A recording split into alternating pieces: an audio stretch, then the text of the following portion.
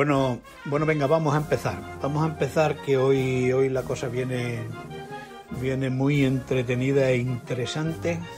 Eh, por cierto, por cierto, que cada día nos ve más gente. Esto empieza a ser un, éxito. Bueno, antes, espera un momento, esperar un momento. voy, que voy a hacer una llamada. Piticlin, piticlin, piticlin, piticlin, piticlin, piticlin, clin, clin, clin, clin, clin. Oiga, ¿es el despacho de la señora alcaldesa? Sí, sí, sí. ¿Me puede poner con ella? Ah, que no. Que no está o que no puede. Ah, que no puede, que no puede, que está reunido. ¿Cómo? Sí, sí, soy el de todas las semanas, pero es que, es que nos gusta, nos gusta invitar, somos una gente educada. Además, hoy, hoy precisamente eh, tenemos en la tertulia que vamos a entrevistar a, Carmen Millán, que ella la conoce, y, también a, Ricardo Rubio. Eh, Ricardo Rubio es un periodista gráfico, un tipo muy... Ah, que no, que, no quiere saber nada. Pero no lo quiero saber usted o la alcaldesa. Que me vaya... ¿Cómo? Sí, sí, no, no, no. Bueno, sí, me voy, no, no es problema. Pero, ¿me puede usted decir cómo se llama? Colgó. Bueno, empecemos.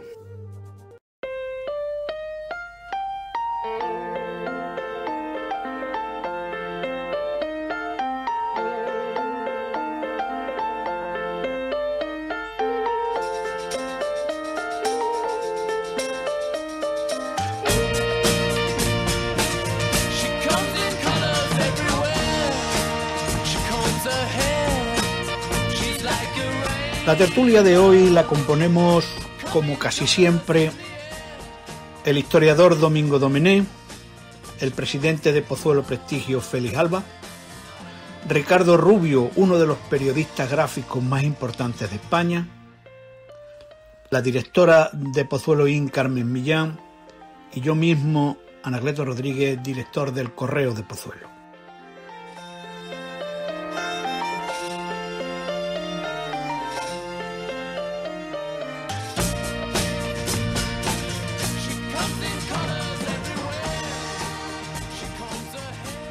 Y, como le decía a la, secretaria de la alcaldesa, hoy vamos a tener una tertulia especial porque, porque la atalaya, la tertulia de la atalaya, en la tertulia de la atalaya somos unos privilegiados. Tenemos, tenemos a dos personas, dos personas muy importantes que son, que son en este momento actualidad en España entera. Por un lado, Carmen Millán, que es, aparte de otras muchas cosas, la directora de eh, la Asociación Española de Afectados por el Coronavirus. Y tenemos a Ricardo Rubio, que aparte de ser uno de los, de los periodistas gráficos más importantes de este país, resulta que tiene además un blog que hemos descubierto maravilloso dentro de Pozuelo In, en que explica cada día qué es lo que ve por Madrid. Él es nuestro, son nuestros ojos, ¿no? o es nuestros ojos y nos va a contar qué mira y qué ve por Madrid, por ese Madrid vacío que también fotografía.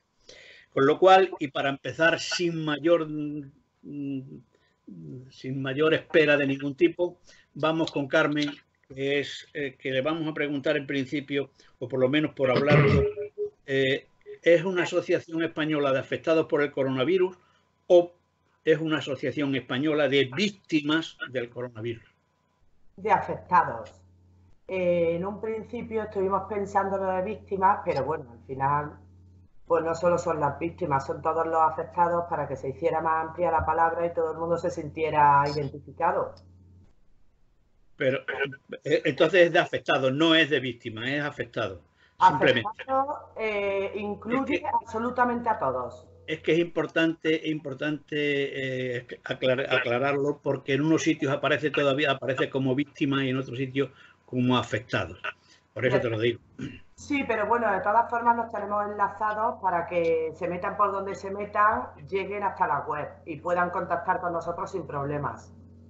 Muy bien. Bueno, pues abierto está el diálogo.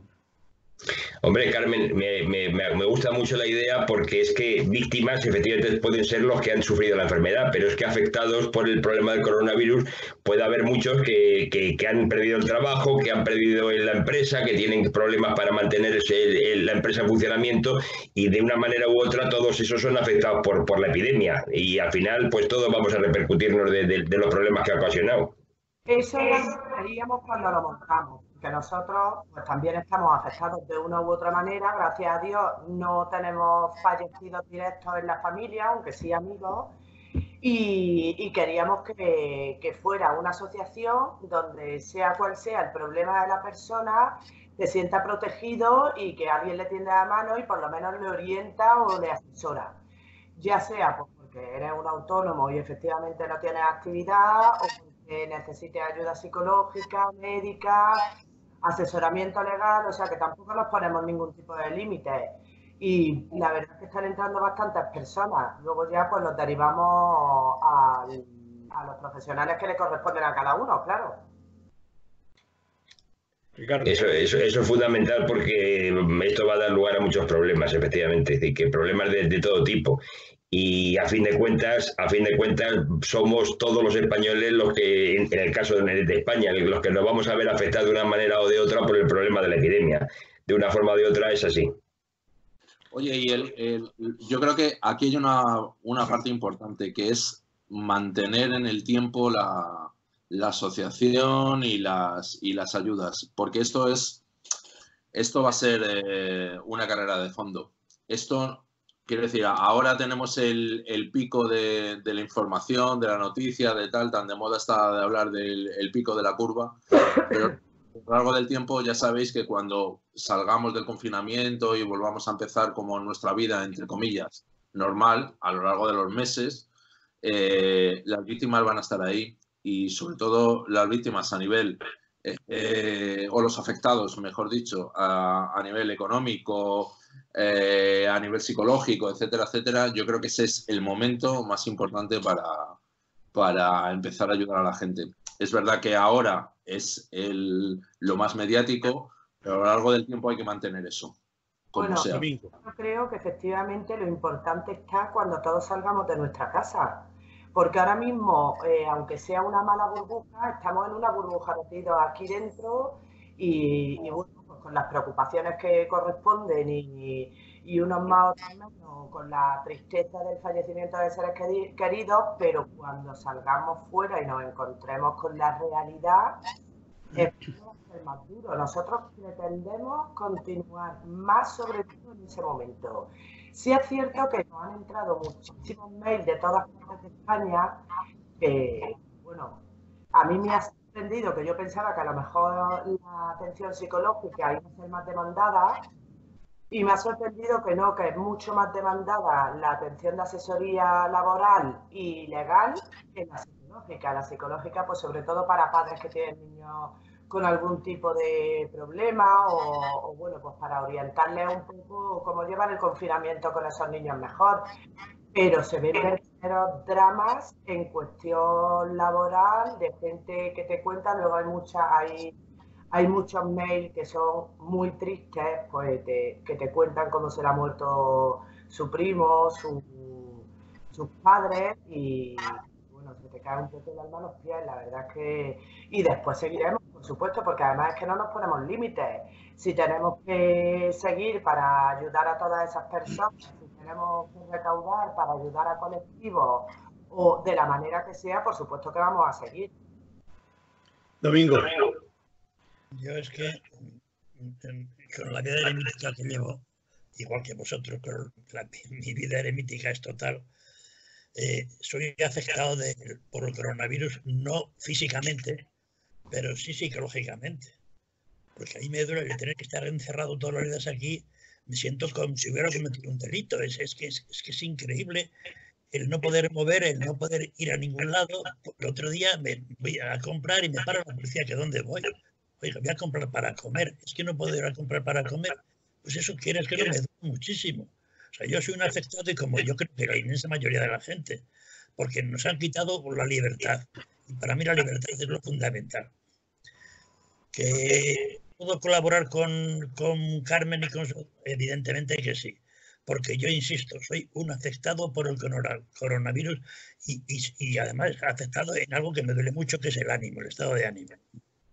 Carmen, vosotros, vosotros vais, a, vais a actuar eh, siempre por, eh, como consecuencia de parte, o sea, de gente que quiera denunciar, o vais en un momento dado a tomar vosotros algún tipo de iniciativa.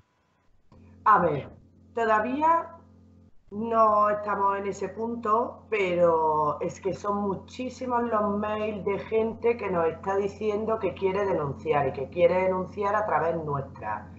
Y nosotros, pues ya digo que no nos vamos a poner límites de nada y si cuando todo esto termine y cuando corresponda hay que denunciar para defender a esas personas, por supuesto lo vamos a hacer. Para eso tenemos un grupo de abogados y si hay que pedir responsabilidades, porque a la gente no se le ni se le olvida ni perdonan todas las mujeres que están teniendo y que están padeciendo. Y, quiere pues que haya algún culpable o, que le den explicaciones o, que, o por lo menos que tranquilos, porque además es que son verdaderas dramas como se muere la gente y la falta de atención que hay hacia sus seres queridos, que yo entiendo que esto eh, pues vino así, se ha, eh, se ha, ido de las manos y, nadie podía evitar que entrara, pero sí a lo mejor la manera de actuar y eso es lo que está demandando la gente. Nosotros haremos lo que tengamos con esta, Con esta pregunta me uno a la de Alfonso Nogueiro, que hoy no ha podido venir y que nos ha dejado algunas preguntas escritas. Eh, dice, ¿pensáis en algún momento denunciar incluso al gobierno? A quien haga falta, Anacleto. Haremos lo que haga falta por ayudar a la gente. Nosotros hemos nacido de manera solidaria, sin ningún tipo de ánimo de lucro, exclusivamente para ayudar a todas las personas, que nadie les está respondiendo, ni les está tendiendo una mano, ni les está ayudando, ni les está asesorando. Y como hemos nacido para ayudar a esas personas, haremos lo que haga falta. ¿Habéis pensado en algún momento, porque según he visto, hay muchas asociaciones locales bastantes asociaciones locales eh, de afectados. Vosotros sois nacionales. ¿Habéis pensado en algún momento unificar, unificar todas en una federación o en algo así? Porque eh, realmente unido podría ir, me imagino, mejor. No lo sé, pregunto. No, no lo hemos pensado, pero es verdad que tanto por la web como por las redes sociales eh, se nos están uniendo cada vez más. Ayer se nos unieron dos más, una empresa de médicos laborales eh, y otras plataformas que hay pues de psicólogos o de médicos o de abogados independientemente y nosotros siempre contestamos lo mismo, que cuanto más estemos y más ayudemos, mejor. O sea, que no ponemos... Pero digo de asociaciones de víctimas, de, asociaciones de víctimas o de afectados. Hay muchas, en Andalucía casi en cada ciudad hay una, ¿no? No, Por poner un ejemplo. no hemos contactado con ninguna. Yo sé que en Andalucía ha habido una, eh, lo que pasa que cuando nos pusimos a mirarla, porque no, se comunicaron, pues no es la misma manera que llevamos nosotros, porque al final ellos, nosotros, es sin ánimo de lucro, no cuesta ni va a costar. Y esa asociación, por ejemplo, sí va a costar. Entonces no queremos que se nos identifique por ahí, como que, como que antes o después se va a sacar algún beneficio. Nosotros si en algún momento tenemos que recaudar algo, eh, cuando todo esto termine para ayudar a personas, lo haremos de entidades privadas, no lo haremos de las personas afectadas. Entonces, pues como no es la misma política que llevamos. Bueno. ¿Alguno quiere preguntar más o sigo preguntando yo? No, es que, es que además yo creo que, que lo, incluso los problemas van a variar. Dice, los problemas que tenemos ahora mismo no son los problemas que va a haber dentro de unos meses y, y, y esto se va a alargar en el tiempo porque mientras que no se consiga una vacuna efectiva, que la población se pueda vacunar de forma masiva, esto va a ir coleando. Es decir, que, ahora tenemos un problema, que son la gente que está afectada y son asintomáticos que ese es el verdadero problema que nos vamos a encontrar cuando la, cuarentena termine, se permita salir a la calle y puede ser que haya mucha gente que esté afectada, que no lo sepa y que puede transmitir el virus, con lo cual esto no va a ser una cosa fácil, se va a alargar en el tiempo, con lo cual los problemas van a ir variando y la, gente afectada va a ir también variando en función del tiempo y ahí hay que irlo viendo de esa manera. Y sobre todo, decía Domingo, porque los primeros días Pues mira, todos de una u otra manera y además como se ha ocultado mucha información para alarmar, yo no juzgo porque se ha hecho ahora mismo, pero los primeros 15 días se sobrellevan, te lo tomas como descanso obligado, estás en la casa, cuando ya te dan 15 días más y además no hay fecha que se vea que, esta, que este encierro se, se va a quedar en esos 15 días, sino que va a ir para más, efectivamente a las personas les afecta psicológicamente porque no estamos preparados para esto. Es la primera vez y, no estamos preparados y hay mucha gente que vive sola y que, y que su día a día que es salir, comprar, quedar con amigos no lo tiene y obviamente claro que afecta, es que eso es horrible. Yo estoy con Félix en que los problemas van a ir cambiando. Ahora tenemos una serie de problemas, como decía al principio, y los problemas a lo largo del tiempo van a ir cambiando. Y todo en relación con esto. Y además, todos a lo largo de a medio plazo o, efectivamente como, como, dice, como dice Félix, hasta que haya una vacuna, esto no se va a normalizar. No, se va a normalizar. Podremos tener eh, un montón de, ideas o de normas nuevas o de medidas, como les llama el gobierno, etcétera, etcétera. Que si a la playa vayamos a tres metros, que, que si en los cines estemos a dos filas cada uno de otro y tal. Pero esto no se va a normalizar hasta que no haya una vacuna, porque los asintomáticos, que, podemos ser cualquiera, eh, no sabemos a quién podemos pegarle esto y va a volver a haber picos en la curva, etcétera, etcétera. Sí, no, lo tenemos que ir acostumbrando. fíjate si, fíjate si es, es, es, triste, es triste, pero es que estamos contentos de que ayer las noticias eran que solo había 600 y pico fallecidos. Y eso te produce alegría. Y no nos damos cuenta que son 600 personas que han, que han fallecido. Pero fíjate la, la evolución de la, de la información es que solo con 600 nos parece que es una cosa agradable y que es bonita. Y es así la cosa, es decir, que esto nos tenemos que acostumbrar a que la gente que vaya falleciendo mm, se va a ir manteniendo pues porque mientras que no se controle y se erradique la enfermedad con la vacuna, esto va a ir coleando. Y eso nos tenemos que hacer la idea de que esto va a ser así. Y porque las personas que se muere una persona querida, el tiempo es lo que hace que te des cuenta realmente. Los primeros días está pues, como que no te hace a la idea. Y todas las personas que, que han fallecido un ser querido, pues van a ir sacando eh, pues, Cualquier cosa, yo creo que uno de lo, peor que está pasando en este momento es que no pueden ver al ser querido, no pueden asistirle en los últimos minutos, no pueden ni siquiera despedirlo en el tanatorio o en, el cementerio o en el crematorio. Y esa sensación produce cabreo, y esa, primero produce dolor, pero del dolor se pasa inmediatamente al cabreo y, y bueno, claro, lógicamente evolucionará muchísimo. Eh, mira, eso es que en, el, en caso de un, de un, de un fallecido hay una cosa fundamental que es elaborar el duelo. Y ese duelo ahora mismo no se está elaborando porque no se puede, no se puede llevar a cabo. Yo no sé dónde he visto o he oído una, una imagen que es eh, muy conmovedora, es decir, que como solo se permite a tres personas que asistan a un entierro, esas tres personas estaban aisladas y se estaban abrazando cada una a sí mismo para intentarse darse ánimo, porque no se podían ni abrazar unos a otros. Y eso es muy duro, muy duro cuando hay un fallecimiento, porque no se permite que el duelo se, vaya pasando. Y esa gente lo va a mantener ahí durante mucho tiempo, y eso va a ser muy duro en, el futuro.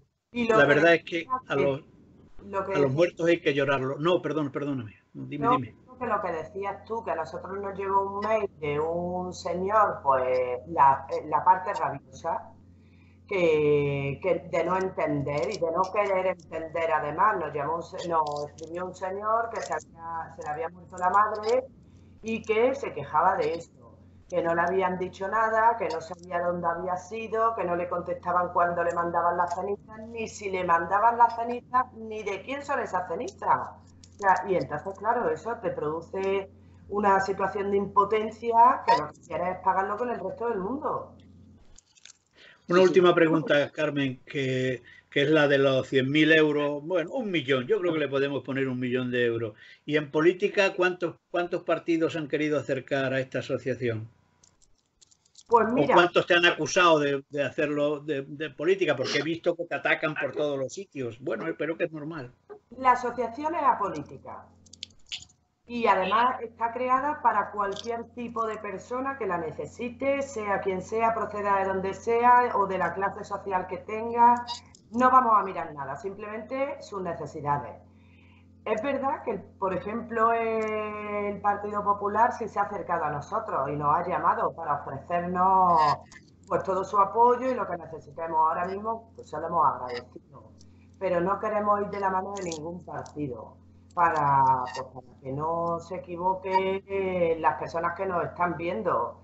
Que nos apoyan ellos, pues si nos apoya Podemos, o si nos apoya el Sol, o si nos apoya vos, es para apoyar a los ciudadanos, no es para apoyarnos a nosotros, pero ninguno más, nadie más. Al final no están pensando en los ciudadanos, bueno, y ahora ya dinos un sitio donde se pueda poner la gente en contacto con, vosotros. Correo, un, teléfono. A través de la asociación AA coronavirus arroba eh, víctimascoronavirus.org y, y en un mail que hay con vida arroba víctimascoronavirus.org. Este último, dilo más fácil, cuéntamelo vuelve a repetirlo otra vez. Este último, el último. El correo. el correo. Arroba víctimascoronavirus.org. Muy bien. Pues y en redes sociales estamos, o sea que nos puede, hay muchas maneras de contactarnos. Muy bien, incluso en el correo, incluso en el correo está ahí. Incluso nosotros tenemos en el correo, tenemos en el correo. el correo de Pozuelo también se puede ver.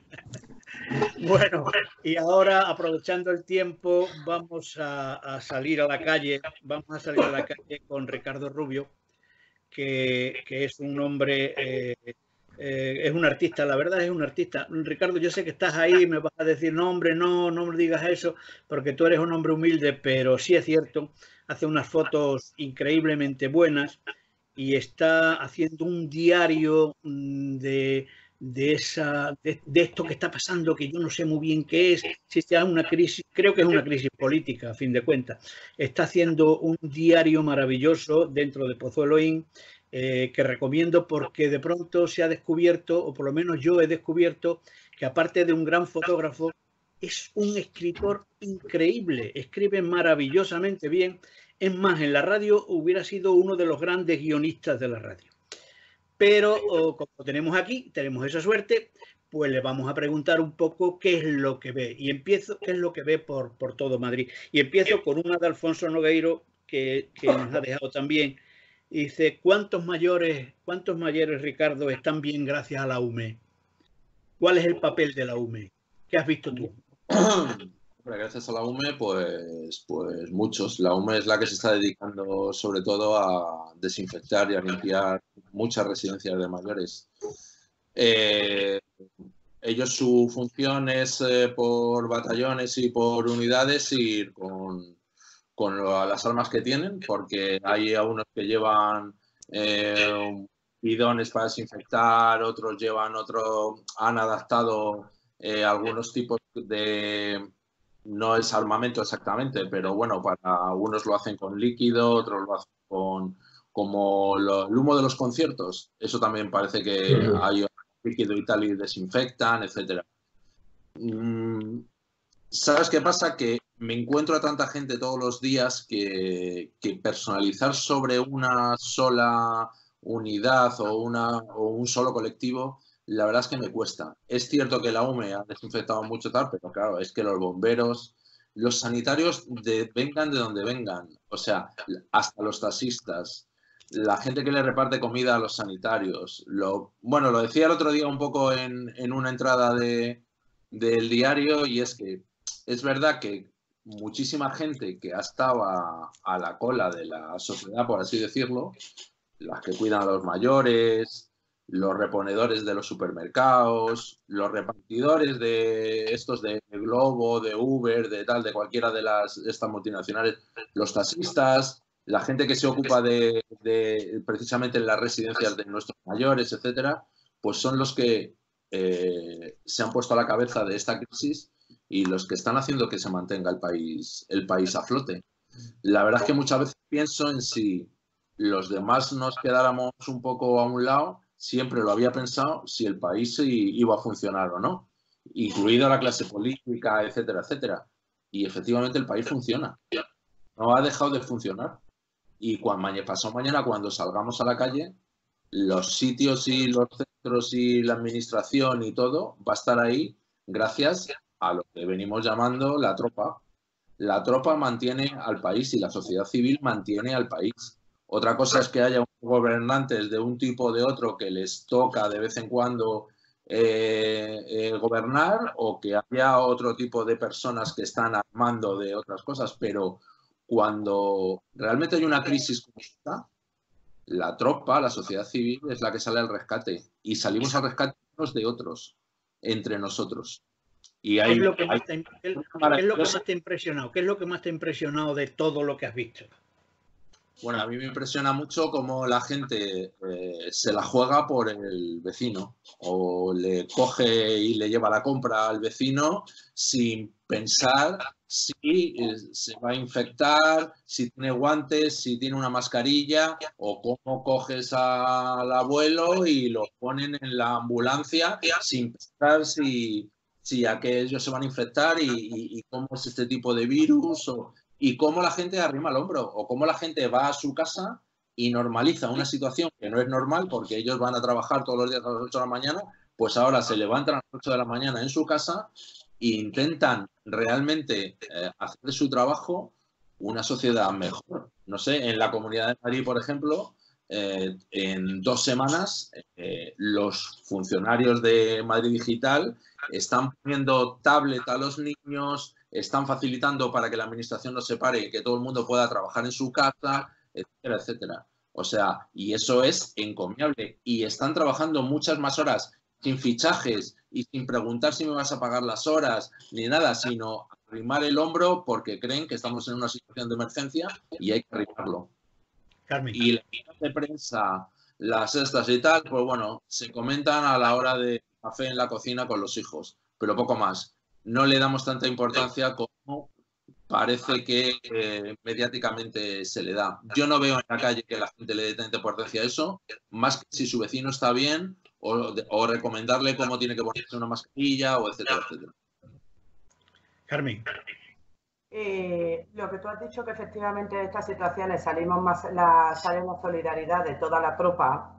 Había el otro día un meme diciendo que si dentro de la profesión algunos no eran indispensables, pues que se quedara en su casa. En este caso, los políticos pues no es que sean indispensables, lo están demostrando.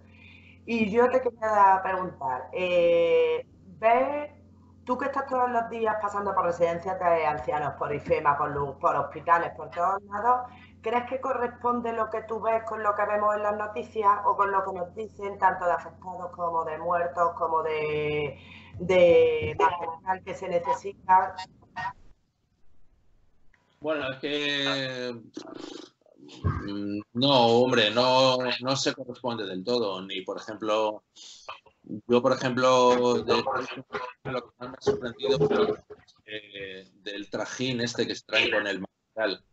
De repente entro en un, almacén inmenso donde hay cajas y cajas de mascarillas y de material de todo tipo y se está escuchando las noticias que dónde está el material.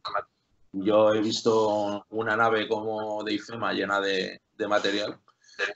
Y en otros sitios, por ejemplo, como en la Casa de Campo, que es un, un almacén donde acaban de llegar dos aviones de China y tal y cual, pues hay cuatro palés. No había más, está gestionado por los bomberos y no había más, más material. Entonces, eh, cuando tú hablas de esto con algún responsable, yo no hablo con los responsables de arriba, pero bueno, la gente que está alrededor, siempre hay una excusa para todo. No, bueno, es que eso se repartió el otro, no, es que eso, pero sí que es cierto que no se corresponde muchas veces con la, con lo que, con las noticias que nosotros tenemos. Ahora, entrando en otro tipo de valoraciones, es que las noticias que tenemos están manejadas por, por los políticos, vengan de donde vengan.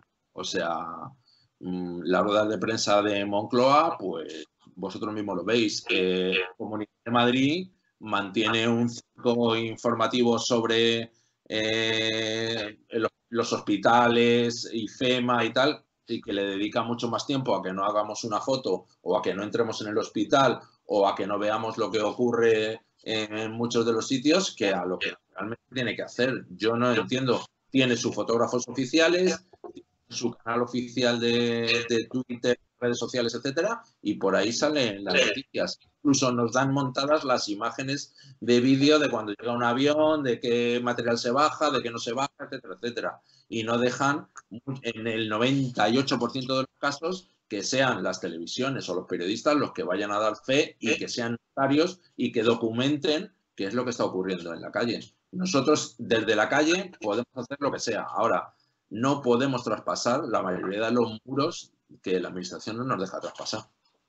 Eso, eso es como decía Domingo, que, que, se quejaba de que le estaban quitando la libertad. Tenemos un riesgo grande de que, se, de que con medidas como las que se están tomando, al final se nos vaya quitando la libertad a todos los españoles. Que, que eso, y eso es una cosa que no podemos permitir. Y libertad de información tiene que existir, tiene que haberla, porque es la única manera de que, de que tengamos los, los, ciudadanos esa información por, el, por varios medios, es decir, que, que puede ser medios distintos y cada uno dar un, una información distinta, pero eso es lo que, lo que nos, nos vale, que la, contrastar la, la, información de varios puntos de vista, y eso es fundamental, y no podemos dejar que eso nos la, nos la hurten de una manera o de otra. Mira, que no podamos, una, una apunte solo, que no, podemos, que no podamos haber entrado a hacer la foto de las morgues yo no lo entiendo. O sea, no me cabe en la cabeza. Es como si los muertos no existieran. A nosotros nos dan una cifra, como tú decías, de muertos de 600 o de 800 o de 300 y pico en la Comunidad de Madrid y resulta que las morgues las acordonan a cientos de metros para que no nos acerquemos a hacer fotos. Están acordonadas, tanto la de la Ciudad de la Justicia como la de ahora de aquí al lado de Majadahonda. Han acordonado y han cortado las calles para que los fotógrafos y los medios no tengamos acceso a ninguna caja, a ningún tal igual. Y eso es la realidad de lo que está ocurriendo. Yo no digo que, que se haga eh, sensacionalismo con, con, con, el dolor de las personas. Yo seré el último que diga eso. Ahora, esa imagen existe y que es real y que hay una pista de hielo llena de cadáveres, eso debería saberlo la gente y debería verlo. Sí, pero tiene la, la, manía de que los muertos solo sean una cifra y los muertos son, son reales y que eso no lo pueden dejar de, de, de ver así. De la, los fallecidos son gente que vivía hasta, hasta hace un momento y eso no, no se está viendo. Y tienen nombre y apellidos. Tienen nombre y apellidos y no son una cifra más. No, claro. Le recordemos con nombre y apellidos. Es, efectivamente. Están, seguirán estando y mientras sean un número desaparecerán de la historia. Efectivamente, mira, eso, eso lo hicieron cuando, cuando el 11S en, en, en Estados Unidos, que aparecen los nombres de los fallecidos escritos en una piedra. Aquí estamos corriendo el riesgo de que se olvide las personas y nos quedemos con el número, y eso es horrible. Y parece mentira la cantidad de gente que va al memorial de, de la zona cero, del 11S, donde están escritos los muertos, busca a sus muertos y, bueno, pues se va a conciertar. Lo que tú decías antes de, de los duelos, de, de, de, de, cómo gestionar ese duelo que no estamos gestionando ahora, pues incluso eso ha ayudado a las personas a vivir de una manera en paz, por lo menos. Por lo menos dejar de buscar culpables que a lo mejor no existen en ningún sitio, ¿sabes? Y a, a remar todos en la misma dirección.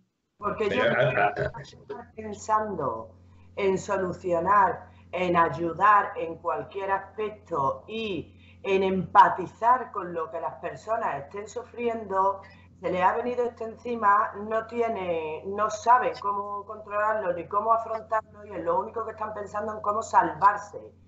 No hablo de un partido político, me da igual quién estuviera gobernando en ese momento, yo hablo de una actuación, sea cual sea el que gobierne.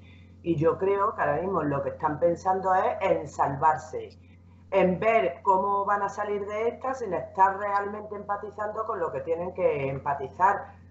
Y a la vista está, porque no hacen nada, no tienen ningún tipo de consideración y las únicas medidas favorables que han tomado son para ellos mismos. Es que no han tomado para el resto de las personas. Entonces, si tienen esa actitud, poco podemos esperar. Domingo, termina, que nos vamos de tiempo para mí eh, estoy de acuerdo con todos vosotros. Eh, hay dos cosas fundamentales. Una, que nuestros políticos no viven en el mismo mundo que vivimos los demás. Nosotros estamos pasando los dolores, los sufrimientos, digo nosotros en línea, los, los familiares de los afectados, de los fallecidos. los políticos viven en un mundo aparte, todo va bien. Yo oigo hablar a un señor que se apellida Sánchez, por cierto, yo me apellidaba Sánchez, ya me quito ese apellido, ¿eh? Y, todo va bien, todo va bien. Y digo, ¿cómo que va todo bien? Si luego sales a la calle y ves que la gente se queja y demás. De todas maneras, esto tiene una buena, eh, tiene una cosa buena este estado actual, esta situación actual, que es que ha demostrado que somos solidarios, que tenemos corazón, que nos ayudamos unos a otros. Y a mí eso me, me da mucha alegría. Sin embargo, esa alegría se ve un poco eh, frenada cuando pienso en el futuro. Porque como esta gente se han acostumbrado a mandar y no dar ninguna explicación y, piensan la burrada que están pensando ahora de, meter en no sé dónde a uno que está enfermo de síntomas, sin, que lo sepa el juez ni nada. Eso, digo, el día de mañana, un atleta que habla más que los demás, y dicen, usted tiene los y lo mandan, lo encierran porque le dicen que tiene no sé qué enfermedad y lo meten en un sitio por ahí encerrado. Eso es el gran peligro. A mí dejándome que vea al Atleti me da lo mismo. que es mejor el guijuelo que el Atleti, hombre, por lo menos Escúchame, Félix, ¿tú te crees estas cifras que está dando el gobierno de la Comunidad de Madrid, que en Pozuelo tenemos 387 ah, afectados, algo así? Eh, es que es muy, es muy diferente el número que te dicen de confirmados, es decir, la gente que se le ha hecho el test porque estaba llegado al hospital y se le ha hecho el test, o al hospital o donde sea, se le ha hecho el test y luego ha fallecido o está afectado por esa enfermedad con el test positivo, a la gente que estamos viendo y que están en sus casas aguantando la enfermedad de una forma leve o menos leve o que, se, o que fallecen sin diagnóstico porque no se le ha hecho el test y eso no está en las estadísticas. No sé, esta mañana estaba leyendo una información de Castilla-La Mancha que, claro, las funerarias están con unas cifras de fallecidos que están manejándolas que no tienen nada que ver con los datos oficiales de Castilla-La Mancha en cuanto a fallecidos. Eh, estamos en una situación en la que confirmados, bueno, una cosa es que esté confirmado y otra cosa es que estén enfermos y la cifra real de enfermos y de contagiados y de gente asintomática con la enfermedad no la conocemos. Por lo tanto, es absurdo hablar de esas cifras. Una cifra, una cifra, di una cifra, Feli, una cifra. No, no, no, ha, salido un estudio del, del, London, del London College que hablaba de que en España podíamos estar en una cifra de, contagiados, entre, me parece que estoy hablando de memoria, entre un millón y medio y 19 millones. Yo no sé los que estamos afectados de una manera o de otra en cuanto a tener el contacto con el virus, pero que tenemos una cifra entre eso cercana a los 5 o 7 millones de, gente contaminada en España, estoy completamente seguro. Otra cosa es que tengan la enfermedad grave, la enfermedad leve o que tengan contacto con el virus, sean portadores del virus y no den síntomas. Pero las cifras Mira, la única manera de saber, de saber en el futuro la cifra de fallecidos es con las estadísticas de varios años atrás, en estos mismos meses, la media y ver la media que se va a desarrollar ahora. Y veremos el aumento de fallecidos que ha habido y, lógicamente, en mayor causa por, por, la enfermedad esta. Es la única manera real de, comprobarlo. Mira, hacer un ejercicio fácil en casa.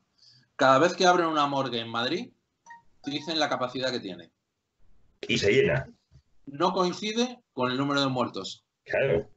Dicen, hay que abrir otra porque se han saturado la morgue. Coño, si solo morían 250 y la capacidad era 500, ¿cómo es que ya se ha saturado la morgue? Pues ese ejercicio es muy sencillo. Bueno, venga, Carmen, termina. Perdona, es que nos pasamos de tiempo. Eh, eh, termina tú con una esperanza, contándole esperanza a la gente que vengan a buscarte que les vas a solucionar algo. Digo yo. Iba a decir. De hecho, nosotros el hashtag que hemos hecho es con vida y es para dar ánimo a todas esas personas y que sepan que hay una asociación que está dispuesta a atenderle, asesorarle, ayudarle y bueno, y a, hacer todo lo posible para que se sientan mejor. Asociación. Sí. Di otra vez el correo, por favor, otra vez el correo. Despacito, que se entienda. Convida arroba víctimascoronavirus.org o a través de la web a coronavirus.org. Perfectamente. Bueno, tampoco ha venido la alcaldesa hoy, esperamos que venga la semana que viene y la semana que viene intentaremos volver a seguir trayendo algunos invitados porque nos parece también muy interesante este tipo de tertulia. Señores, los pintores.